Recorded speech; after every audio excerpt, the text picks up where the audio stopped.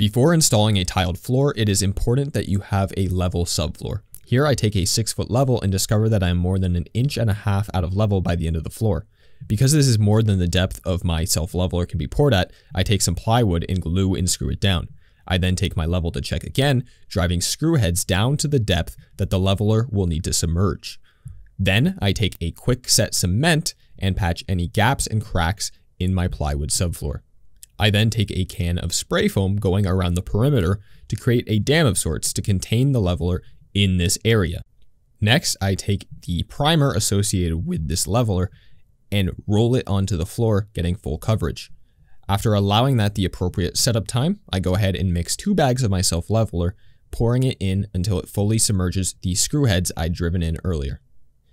If you want to learn more tips like this one, be sure to follow,